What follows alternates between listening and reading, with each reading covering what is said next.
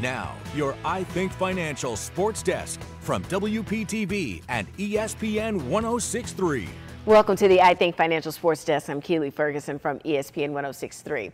In 24 hours, the lives of hundreds of young men will be changed as they hear their name called in the NFL draft. Less than 24 hours. And in fact, one local looking to hear his name called will be carrying on a family tradition. We're talking about Benjamin alum and former Florida Gator, Kaiir Elam. Now, he will be watching tomorrow's first round closely.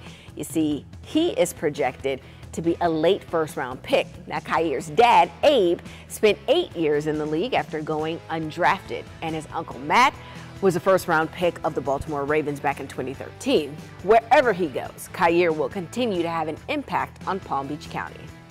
We have his jersey hanging up in the in the gym. You know, I hang his picture up in the locker room with the Florida Gator uniform on, and all of our kids know who he is. They're, I'm, all of our football players are going to be glued to the draft on Thursday. They all know they all know his status and where he's, what rounds he's supposed to go in, and those kind of things.